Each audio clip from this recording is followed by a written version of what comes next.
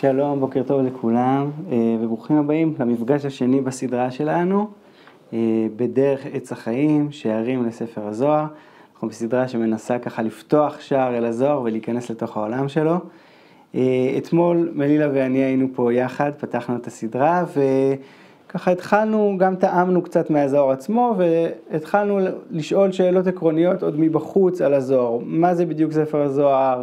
בתוך איזה מסורת הוא יושב, מתי הוא נכתב, איפה הוא נכתב, ומהשאלות הכלליות האלה אנחנו נכנסים היום לתוך גופי הידע של הזוהר, לתוך התוכן שלו. אמ, במפגש היום ומחר נעסוק אולי בשאלה שמעסיקה את הזוהר יותר מהכל, והיא האלוהים. האלוהים. כן, הזוהר הוא ספר, אה, אה, הוא חיבור מיסטי, הוא ספר שיש בו תשוקה דתית גדולה, שיש בו אה, דחף דתי, והדבר שמעניין אותו יותר מכל זה אלוהים והקשר עם אלוהים. אמ, ואחד השערים המרכזיים להבין מה הזוהר בכלל אה, עושה ומה הוא רוצה לעשות, זה להבין את תפיסת האלוהות שלו, איך הוא מתאר את האלוהות, אה, איך הוא מצייר אותה בציורים ובתמונות שונים, אה, איך הוא משפיע עליה, איך הוא רוצה להיות בקשר עם האלוהות, וכמו שנראה, הזוהר יציע תפיסה מיוחדת, נועזת ואחרת על האלוהות ממה שאנחנו רגילים בדרך כלל לחשוב בתוך היהדות, והיא, כן, אה, היא, הייתה, היא, היא בעצם הבסיס כדי להבין את, את, את העולם שלו. צריך להגיד, אתמול אמרנו כבר שהזוהר נכתב בתוך מסורת של כתיבה קבלית, אז, אז תפיסת האלוהות של הזוהר בעצם דומה ב, ב, במובנים רבים לתפיסה הקבלית העקרונית שעוד נכתבת ו, ומופיעה לפני הזוהר, אז הרבה מהדברים שנלמד לפחות היום נכונים גם לזוהר ולעולם הקבלה בכלל. אז זה בעצם גם מבוא קצת לתפיסת האלוהות בקבלה, ואנחנו נעשה את זה דרך העיניים של הזוהר, שהן טיפה אחרות, ונקרא קטעים אה, מהזוהר עצמו. אה, אז לפני שעוד אה, ניכנס אל תוך, לתוך הקטעים של הזוהר, אני רוצה להגיד משהו כללי, איזה מין אמירה כללית שחשוב לזכור אותה כשאנחנו מדברים על דמות האלוהים בזוהר, בקבלה, בכלל. אלוהים הוא לא דבר אחד, כן? למרות שאנחנו נוטים לפעמים לחשוב שבתוך המסורת היהודית יש ייצוג מסוים של אלוהים, או דמות מסוימת של אלוהים, או תפיסה מסוימת של אלוהים, בעצם התמונה מורכבת יותר. אם נעקוב אחרי אה, אה, קורפוסים שונים של טקסטים, גופי, אה, גופים שונים של טקסטים, מחברים שונים, אנחנו נראה שדמות האלוהים משתנה לאורך ההיסטוריה היהודית. אם אה, תנסו רגע לחשוב למשל על האלוהים של התנ"ך, האלוהים המקראי, יש לו ציור מאוד מסוים, נכון? הוא מופיע אה, כמין אה, אישיות, פרסונה, הייתי אומר, נכון? אנחנו קוראים לזה אלוהות פרסונלית, שיש לה תכונות אופי ויש לה היסטוריה, יש לה מערכת יחסים עם עם ישראל, יש לה יחסים עם דמויות מסוימות, עם נביאים, אלוהים במקרא יכול לכעוס ויכול לאהוב, הוא, יכול, הוא בורא את העולם, אחרי זה הוא מתחרט שהוא בורא את העולם. זה אל שאפשר, כן, לכרות איתו ברית, שאפשר לבוא איתו במגע, הוא כועס, הוא מעניש, זה כן, דמות אלוהים מאוד מאוד מסוימת. היא לא נשארת ככה לאורך כל, כל ההיסטוריה היהודית. בחז"ל יש תפיסות, כן, אלוהים קצת מתרחק, נכון, הנבואה פוסקת, יש... אה, אלוהים מתגלה בעיקר דרך התורה ודרך לימוד התורה.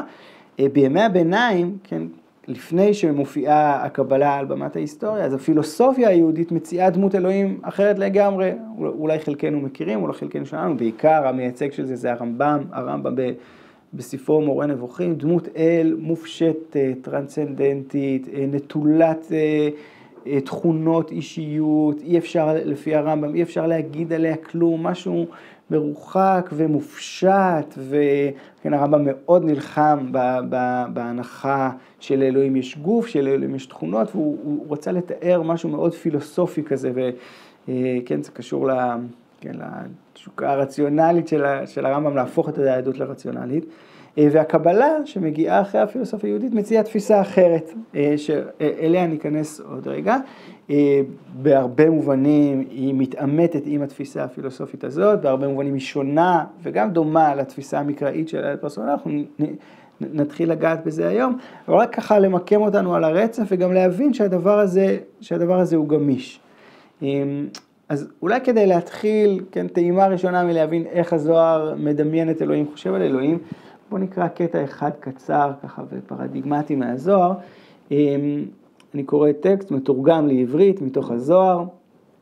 אומר הזוהר ככה, שנויה, כן, שנינו. אתם זוכרים שלזוהר יש, אה, סגנון, הוא מאמץ לעצמו סגנון חז"לי, זה גם בשפה הארמית שפה היא מתורגמת, וגם במונחים, כן, שנויה זה מונח שמתכתב עם ספרות חז"ל. כמה פנים לפנים יש לו לקדוש ברוך הוא. פנים מאירות, פנים שאינן מאירות, פנים תחתונות, פנים רחוקות, פנים קרובות, פנים של פנים, פנים של חוץ, פנים של ימין, פנים של שמאל. אפילו אם, אם נעצור רגע כאן, נכון? זאת קריאה, כן, הדבר שהכי בולט בקטע הקצר שקראנו זה הריבוי, נכון? לאלוהים יש הרבה מאוד פנים. אנחנו אולי חושבים שהוא דבר אחד, הוא באמת דבר אחד, אבל הדבר האחד הזה יש בתוכו גיוון, יש בתוכו ריבוי, יש לו כל מיני פנים. לפעמים הפנים שלו מאירות ולפעמים לא מאירות, נכון? יש לו פנים תחתונות ופנים עליונות שמופיעות בהמשך הקטע שלא קראנו. רחוקות וקרובות, פנים וחוץ, ימין ושמאל, נכון? חלק מהדימויים האלה אנחנו יכולים לתרגם אותם אה, באופן אוטומטי, חלק יותר, נכון, מסקרנים, מה זה אומר שלאלוהים יש פנים של ימין ופנים של שמאל, עוד מעט ניגע בזה. כן, אבל, אבל, אבל עוד לפני שנבין את הפרטים, התמונה הזאת, כן, אל תחשוב שאלוהים הוא דבר אחד, הוא מורכב מכל מיני אה, איכויות, מכל מיני מופעים שלו, כן, פה זה מופעים בעולם, עוד מעט נראה שממש הזוהר והקבלה מתארים את אלוהים כאיזה מכלול של איכויות שונות, כן, שה, שהתקבל להם הוא ספירות, הנה אנחנו נכנסים למושג ראשון וחשוב, עשר ספירות, כן, אלוהים מורכב מעשר ספירות, כלומר אה, עשר איכויות שונות, כן, או עשרה פני, עשר צורות שונות של פנים שדרכם אלוהים מתגלה בעולם, ולפעמים הוא יותר מזוהה עם צורה אחת, לפעמים הוא מזוהה עם צורה אחרת, כן, הדבר הזה, אולי הדבר, אחד הדברים החשובים שקורים זה שהאלוהות הופכת להיות גם דינמית, היא כבר לא סטטית. אין אל אחד, יש לו כלומר, יש אל אחד, אבל יש בתוכו ריבוי של מופעים של גוונים, אז לפעמים זה הפנים האלה ולפעמים זה הפנים האלה, כן, והשאלה האם האיכויות השונות של האלוהים נמצאות אמ, בהרמוניה, באחדות, בפירוד, איזה איכות עכשיו יותר בולטת, איזה יותר דומיננטית, איזה פחות דומיננטית. העסק הופך להיות גם עסק חי, כן, וזה מאוד מעסיק את הזוהר, שהאלוהות היא דבר חי, היא דבר פועם, היא דבר שיש בו תנועה. היא דבר דינמי, היא לא דבר סטטי, והיא דבר שיש בו ריבוי וגיוון, כן? ושתי התכונות האלה כמובן קשורות אחת לשנייה, וכן, דרך הציור הזה של עשר ספירות, הזוהר מנסה לשרטט את אלוהים. אז אולי נתחיל מהסכמה, אולי חלקנו ככה מכירים אותה, ראינו אותה, מה שמופיע כעת על המסך, הסכמה של, של, של אה, עשר הספירות. אמ, כן, זה, זה הציור המקובל של עשר הספירות אה, הקבליות, נכון? אולי אנחנו מכירים את האימג' הזה מכל מיני מקומות. המקובלים לא ממש, כאילו חלקם ציירו אותו ממש ככה, הזוהר לא מצייר אותו באופן הגרפי הזה, אבל זה ברור שהוא נמצא בתשתית המחשבה של הזוהר. אה, וכן, אנחנו צריכים להבין, בעצם ככה המקובלים דמיינו את אלוהים, בצורת ה... כן, הם קראו לזה אילן, הם ראו את, ה, את הציור שאנחנו רואים פה כאיזה אילן, עוד מעט נסביר למה, יש לו שורשים ויש לו גזע ויש לו, ויש לו ענפים. אילן הספירות, עץ החיים, אלה הייצוגים השונים של, של האלוהות. אמ, עכשיו אנחנו נצטרך להיכנס וקצת ללמוד אותם, קצת להכיר אותם, אנחנו לא, לא נתעכב על כל ספירה אבל ספירה, אולי קצת ככה נגיד כמה דברים עקרוניים וניכנס לתוך ספירות מסוימות ולאורך הסדרה שלנו במפגשים שעוד יהיו בטח נפגוש ספירות שונות. אני רוצה להגיד אבל שאנחנו כאילו לומדים שפה היום, זה סוג של שפה. אמ, כדי לקרוא טקסטים זוהרים וטקסטים קבליים בכלל, צריך שתהיה לנו השפה הזאת בראש. לפעמים, כמו שלומדים שפה, יש איזו תחושה שאנחנו צריכים להתרגל אליה, כן, לשונות שלה, לאחרות שלה, לז, לזרות שלה, אבל ברגע שאנחנו מאמצים אותה, יש לנו עוד כלי לקרוא דרכו את הזוהר. אז, אז אני אגיד כמה מונחים, אנחנו נתחיל לפתוח את השפה, ואחרי זה נעבור לטקסטים עצמם ונראה איך זה, איך זה מתגלם בתוכם, בסדר? אז כבר מהתבוננות כללית בעץ הזה, אתה יודע, אולי דבר ראשון נקרא את שמות הספירות השונות, רק שיצלצלו לנו באוזן, כן, אז האלוהות בנויה מעשר איכויות שונות, עשר ספירות, כתר, חוכמה, בינה, חסד, גבורה, שהשם הנוסף שלה הוא גם דין, גבורה דין, תפארת, נצח, הוד, יסוד, והספירה האחרונה היא ספירת מלכות, שגם מכונה השכינה. נכון, אז חלק מהשמות האלה זרים לנו, מה זה אומר נצח והוד? חלק אולי אנחנו יכולים יותר לשער, חוכמה ובינה, זה קשור איכשהו נכון לתהליכי המחשבה, אולי האלוהיים, לצדדים האלה היותר אינטלקטואליים, חסד ודין, אולי יותר קל לנו להתחבר לזוג הזה, נכון? חסד ודין או גבורה, שתי ספירות שמופיעות אחת, אחת מול השנייה, אז באמת חלק יותר אינטואיטיביות וחלק פחות, אנחנו ניגע בחלקן, חלקן עוד יהיו לנו הזדמנויות אה, לראות. מהציור עצמו כבר אפשר לראות כמה דברים, נכון? א', אמרנו שהמקובלים מתארים את זה כמו עץ. התמונה של העץ, תמונה נורא מעניינת, של עץ הפוך. כן? השורשים שלו נמצאים למעלה, והענפים שלו, העלים שלו, כן, אה, הגזע הוא, הוא באמצע, והענפים והעלים נמצאים למטה.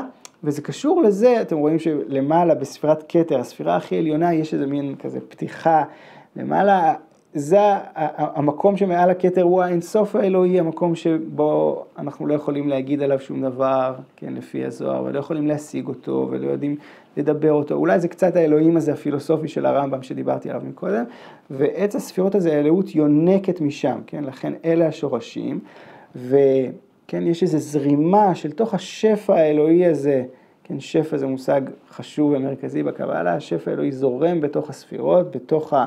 הערוצים האלה עובר בתוך הגזע עד שהוא מגיע אל המלכות, שהיא הקצה התחתון של העץ, והוא נשפך ממנה, כן, מה שנמצא מתחת לשכינה, מתחת למלכות, זה העולם שלנו, זה הקוסמוס, כן, אז יש איזה שפע אלוהי, הנה זה קשור לדינמיות, דיברנו מקודם על זרימה ועל דינמיות, שופע מתוך מעמקי האלוהות הנסתרים, האינסופיים, דרך הספירות האלה בערוצים השונים, ואנחנו רואים גם בציור את הערוצים השונים האלה שמחברים בין הספירות, שבהם זורם, זורם השפע האלוהי עד שהוא מתכנס אל תוך המלכות וממנה נשפך הלאה אל העולם.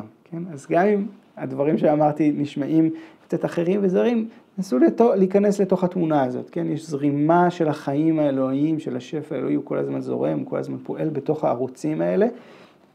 אה, ובאמת, אחד הדימויים הנוספים, חוץ מאילן הספירות, כן, יש הרבה דימויים, המערכת הזאת, כן, האלוהות הזאת מתוארת בזוהר ב...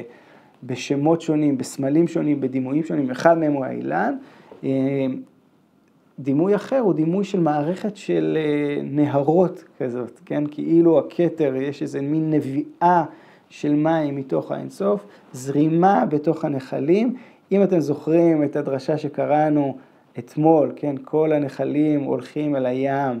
זה ממש, כן, הזוהר קורא את זה על, ה, על הציור שאנחנו רואים לפנינו, ואז הזרימה הזאת ממשיכה אל ספירת המלכות שהיא הגן או היא הים ואליה מגיע, מגיע השפע וממנה כן זורם אלינו. אז המערכת הזאת היא אילן, כן, והיא גם מערכת של נהרות, והיא בעצם במובנים מסוימים גם אה, מייצגת את הגוף האלוהי, כן, המקובלים ראו את המערכת הזו גם כאיזה גוף.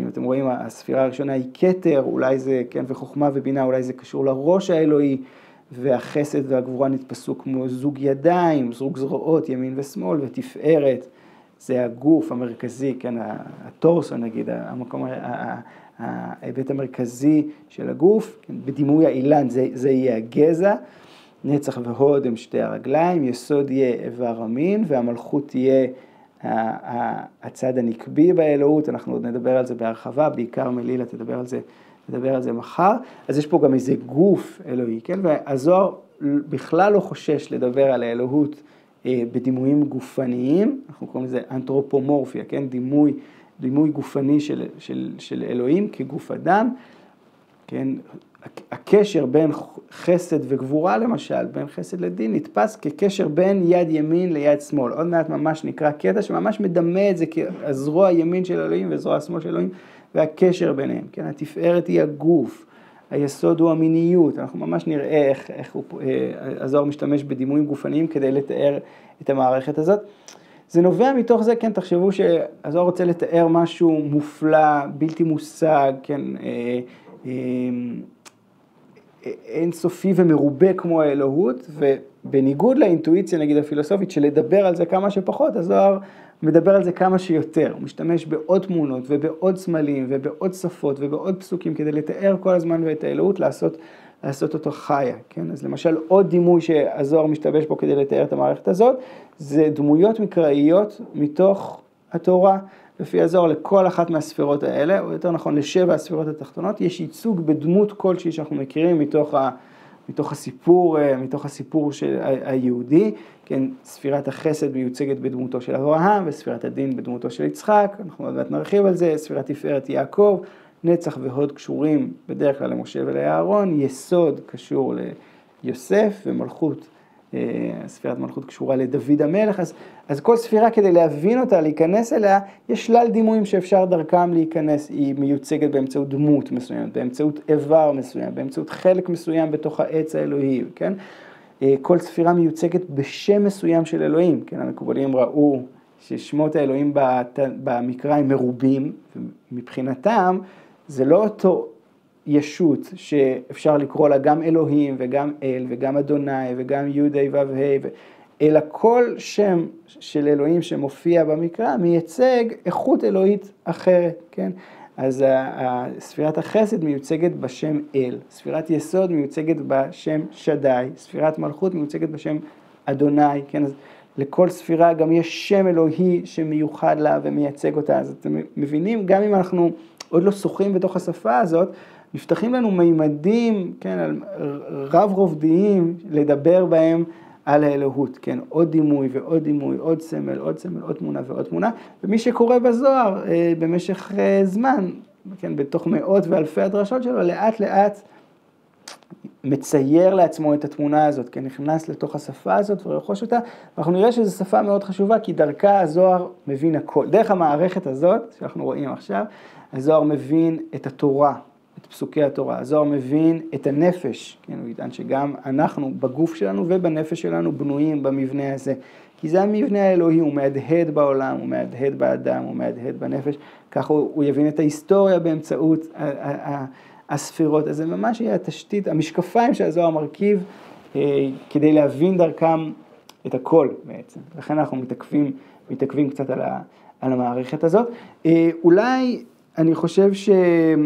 אה, הדבר שנעשה עכשיו זה ככה להתמקד בתוך שתיים מהספירות, כן, בתוך הספירות חסד ודין, חסד וגבורה, הספירות הרביעית והחמישית כמו שהן מופיעות פה. אני, לא, אני מזכיר לכם שאמרנו שחלק ממה שקורה בתוך המערכת הזאת, זאת, כן, זאת הדינמיקה.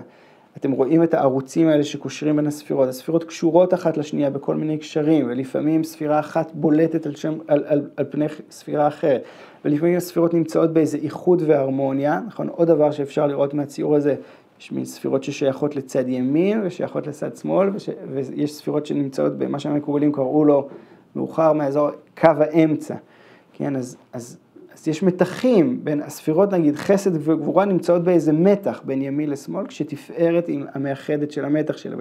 ככה גם חוכמה ובינה ונצח, כלומר המערכת גם יש בה מתחים פנימיים, דיאלקטיקה פנימית, שכל הזמן, כן, וזרימה בין הדיאלקטיקה לבין האיחוד, בין המתח לבין בין הפירוד לבין האיחוד.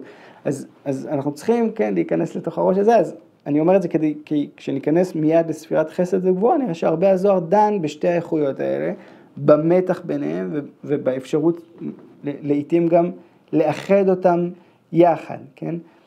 אמ, כן, כדי שתהיה איזושהי זרימה הרמונית ומאוזנת של החיים האלוהיים האלה בתוך הספירות, דרוש כל הזמן, דרושה כל הזמן הרמוניה, או, או כן, איחוד בין המתחים השונים, בין הגבוה והנמוך, בין הימין והשמאל. בין הזכרי לנקבי, שזה עוד נושא חשוב שבעיקר אה, אה, ניכנס אליו מחר, אבל יש אה, כן, כתבים שונים שכל הזמן נמצאים במתח, והזוהר כן, מדבר על, ה, על, ה, על המאמץ להביא את האלוהות לאינטגרציה, להרמוניה, כן? אל, אלה סוגי התנועות, ה, התנועות הנפשיות והמחשבתיות ש, שילוו אותנו בקריאה של הזוהר את האלוהות. אמ, אז אולי, כן, רגע, אולי, אולי עוד נתבונן כן על חסד ודין, חסד ודין. אמרנו, אנחנו יכולים כבר לבד אולי קצת באינטואיציה להבין את האיכויות של הספירות האלה. אני אגיד, אה, כן, שספירת חסד היא קשורה לאיזשהו, כן, לשפיעה של החסד האלוהי, ליכולת של האלוהות להשפיע, להרעיף, לתת, להעניק, כן, זה כמו איזה מים זורמים, אה, אה, איזה נהר, כן, וה... החסד קשור גם אה, לרפואה, לטוב, לפנים המאירות של אלוהים, למגע עם האלוהות כשאנחנו מרגישים שהיא זורמת אלינו, כשהיא מעניקה לנו, כשהיא מאירה לנו פנים, כשהשפע הוא, הוא, הוא זורם אלינו, ולעומת זאת ספירת גבורה או ספירת דין, יש בה משהו אחר, נכון? היא קשורה, כמו שאנחנו אומרים, לשורת הדין. יש בזה איזה משהו שיש בו, כן, המקובלים, אולי פחות בזוהר, מקובלים אחרים דמיין, תיארו את ספירת דין כאיזה איכות שיש בה הגבלה או, או, או תחימה, כן? זה לא השפע האינסופי של החסד, זה הדין, כאילו שיש לו, כן, יש בו משהו סגור, יש בו משהו שקוצב, מתי כן ומתי לא, כמו דין, כמו משפט, כמו צדק, בעוד החסד הוא לפנים משורת הדין, נכון? הוא היכולת לתת, לסלוח, גם, כן, בלי הבחנה למי מגיע ולמי לא. כן, אז כן, שתי האיכויות האלה, אפשר לדמיין אותן בתוך האלוהות, אפשר גם לדמיין אותן, כמו שעשו מקובלים אחרים, בתוך הנפש שלנו, שתי האיכויות האלה, אפשר לדמיין אותן כשתי תנועות בתוך העולם. אם, אם נקרא קטע ככה שהזוהר רוצה להציג לנו את היחסים בין חסד לדין, הוא אומר ככה, בואו ראה, ימין הקדוש ברוך הוא, והנה אתם כבר יודעים שספירת חסד מזוהה עם הימין, נכון? זה אחד, ה, אחד הסמלים ש, ש, שמסמלים אותה זרוע ימין, ממנה מתעוררים כל האורות, כל הברכות וכל השמחה, ובה נכלל השמאל, כן? צריך להכליל בתוך הימין, שהיא החסד, את האיכות האחרת הזאת שקוראים לה דין או גבורה. כמו שיש לאדם ימין ושמאל, ושמאל נכללת בימין, וימין כולל את הכל. כן, אז הזוהר אומר, גם באלוהות וגם באדם יש את שני הכוחות האלה. אגב, זה לא כוח רע וכוח טוב, בכלל לא.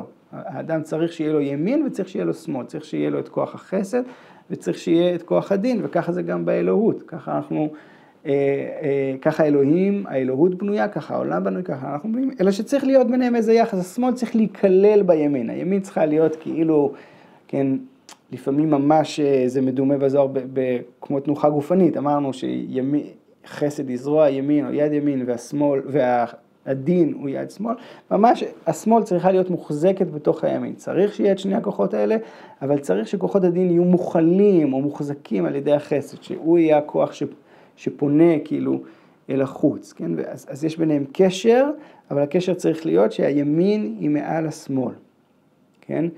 אה, במקום אחר הזוהר יגיד, כשלאדם יש רק יד ימין בלי יד שמאל, רק כוח חסד בלי כוח דין, גם זה לא טוב, כן? חסד ללא דין, איזה משהו, איזה שפיעה כזאת אה, של שפע בלי שיש לה איזה תיחום, איזה גבול, היא גם דבר לא בריא. הזוהר מדמה את זה למבול במי נוח, כן? אם החסד הוא מים שופעים ומים זורמים, אז מים שופעים בלי גבול, הוא מבול שמציף את העולם, זה גם לא טוב, נכון? ודין שאין איתו חסד, יש בו משהו יבש, יש בו משהו צפוד, יש בו משהו, כן, שלא נותן, אה, שלא נותן לשפיעה לצאת. אז, אז כן, הנה אנחנו כבר נכנסים למ, כן, לאופן שבו הזוהר מדמיין את המתח, את הדיאלקטיקה הזאת, יש שתי ספירות, צריך לעבוד עם שתיהן, צריך לדעת להיות בקשר גם עם הימין האלוהי וגם עם השמאל האלוהי.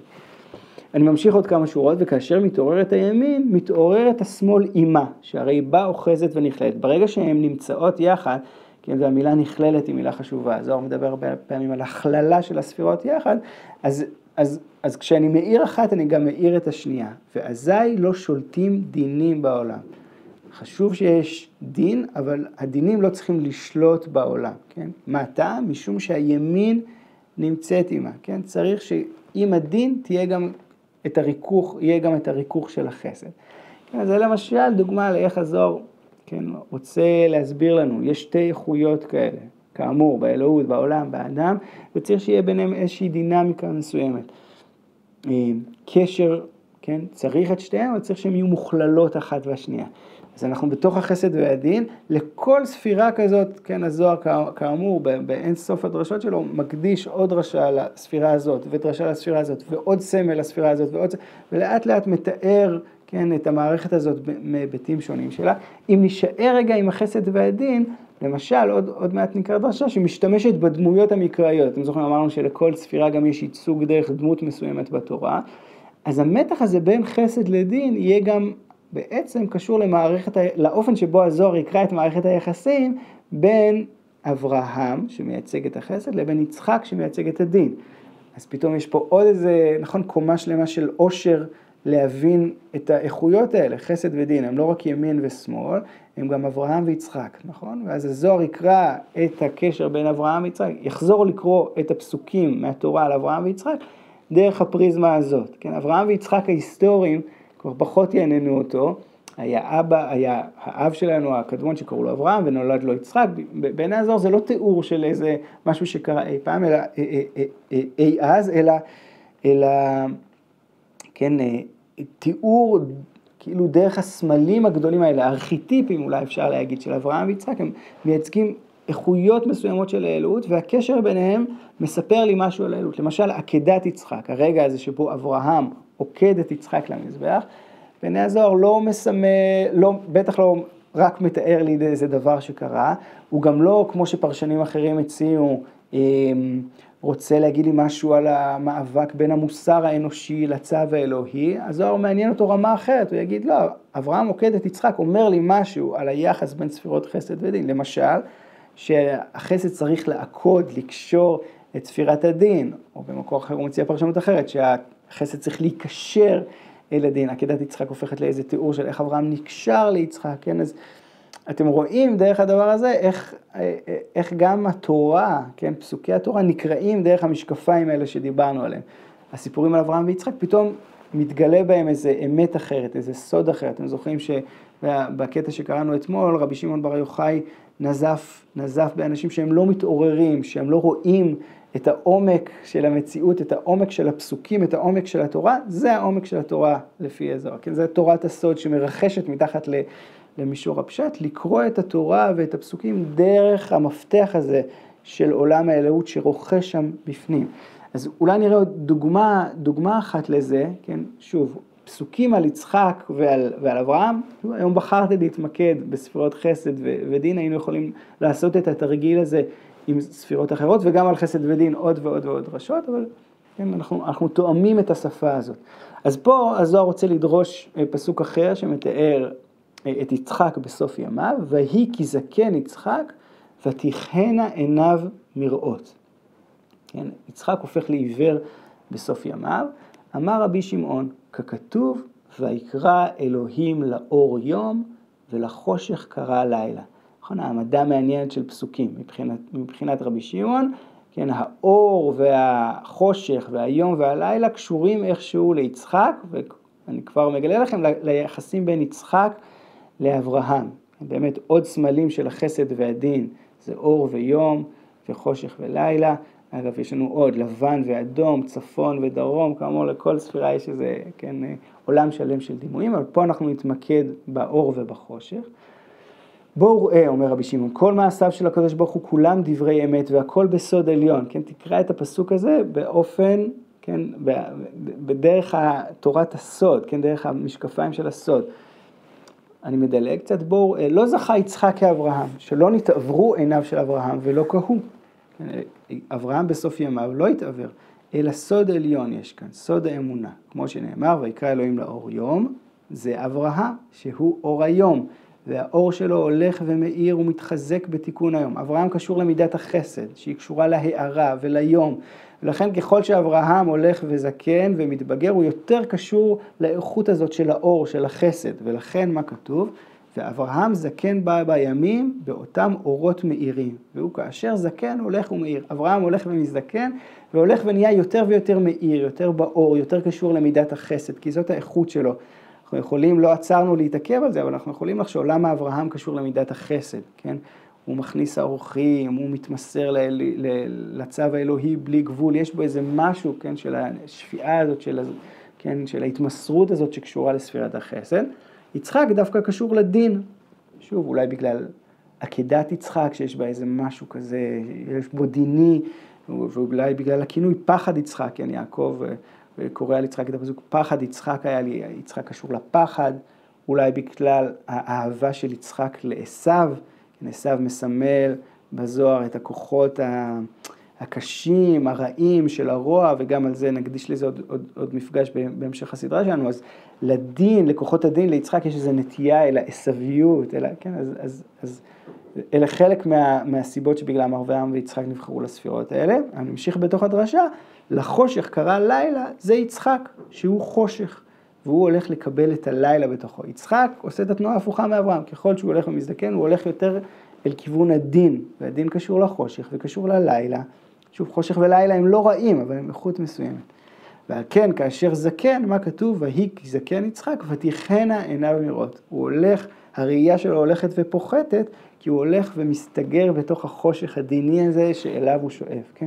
כך הוא ודאי שביקש להיחשך ולדבוק במדרגתו כראוי, ככל שהוא מזדקן, הוא יותר דבק במדרגה שלו, בספירה שלו, שהיא ספירת הדין, והולך, כן, הולך ומסתגר בתוך החושך הזה. אברהם הולך ומאיר ויצחק הולך וחשך, כן?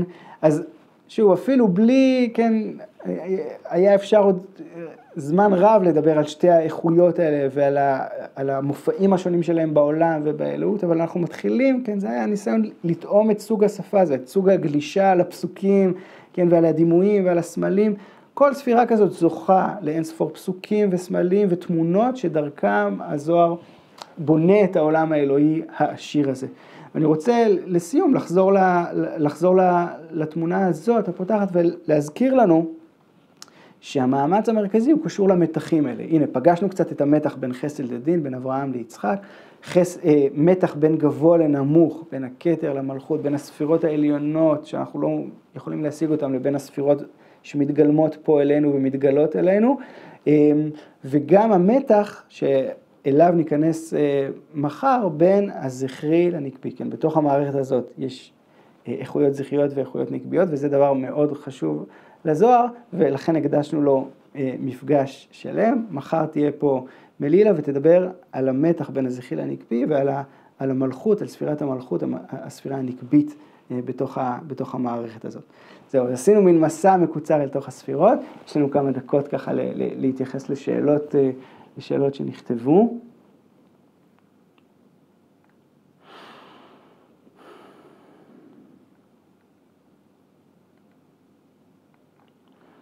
אוקיי, אז יש פה שאלה אחת, אה, באמת אה, אה, עקרונית על הזוהר, כן, אני אקריא אותה, תמיד חשבתי שקבלה זה זוהר וזוהר זה קבלה, תוכל להסביר את ההבדל, כן, אז, אז, אז זוהר הוא לא בדיוק קבלה, הוא שייך לתוך המסורת הקבלית, כן, המקובלים כתבו, אני חושב שאתמול אמרנו שכן, מאה שנה לפני הזוהר התחילה להופיע התורה הקבלית, למשל התפיסה שלמדנו היום של עשר הספירות מופיעה כבר לפני הזוהר, והזוהר כן, נכתב בתוך המסורת הזאת, אבל לאט לאט הוא כובש את, המ... כן, הוא כובש את המקום המרכזי בתוך המסורת הקבלית, הוא הופך להיות החיבור המרכזי, הכי נקרא, הכי מתפרש, הכי מצוטט, אז הוא כאילו מין ספר הספרים של הקבלה. מקובלים כתבו לפני הזוהר, וכמובן אחרי הזוהר, עד היום כותבים ספרים קבליים, אבל הזוהר הוא כאילו מין איזה עמוד שניצב בתוך, בתוך, ה... בתוך המסורת הקבלית. אמ, כן, יש פה שאלה מעניינת, האם זרימת השפע הולכת גם בכיוון ההפוך מספירת המלכות אל הכתר והריק או העין, ומהו אותו השפע, כן? אז, אז, אז התשובה היא כן, כן, בתוך המערכת החיה הזאת, הזרימה הולכת לכל מיני מקומות, אני מזכיר לכם את הפסוק, כן, אה, מקהלת של, של אתמול, שדיבר על זה שהנחלים הולכים אל הים, אבל מהים הם חוזרים אל המקור שלהם. אז זה נכון שהזרימה המרכזית היא מלמעלה מאין סוף אל העולם שלנו, אבל זה גם נכון שיש, כן, כל מיני, זה קשור לדינמיות הזאת שדיברנו עליה, כן, בתוך האלוהות, בחל... אמ, ב, למשל, בתקופות שונות בשנה, בחלקים שונים של היום, במצבים שונים בהיסטוריה, קורים דברים שונים עם השפע הזה. כן, למשל, כש... תפיסה מרכזית בזוהר שעוד נדבר עליה, קשורה למצוות ולהתנהגות של עם ישראל, כאשר אה, עם ישראל לא עומד, כן, לא, אה, לא מתנהג באופן מוסרי, לא מקיים את המצוות, זה משפיע על השפע האלוהי, השפע הזה נעצר ולא מצליח לרדת במורד הספירות למטה, ואנחנו מקבלים איזה מין ריקנות כזאת מהשפע האלוהי.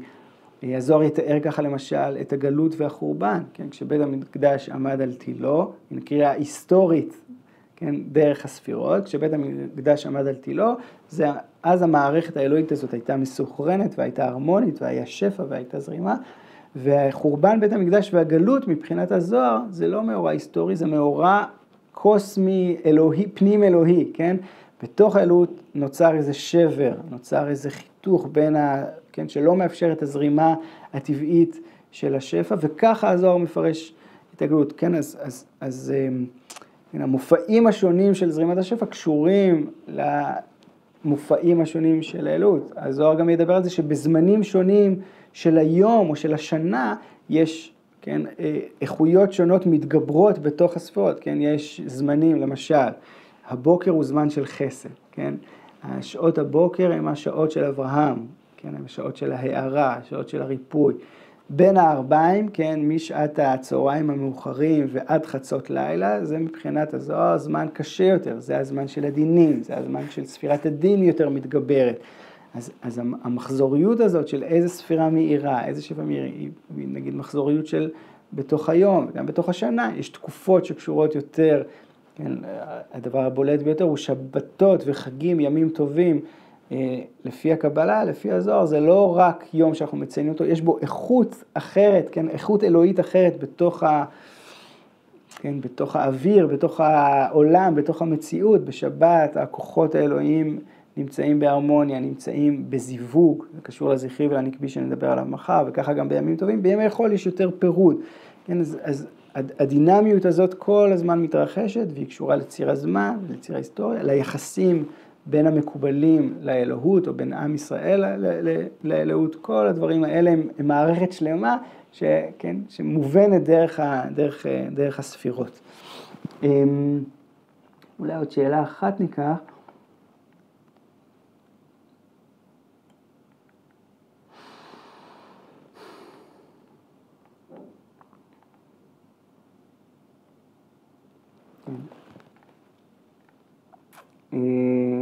אז יהודית שואלת, יש פה למעשה יצירת סיפור חדש, שונה לחלוטין מסיפור התורה, האם אין פה פגיעה במקומם של סיפורי התורה?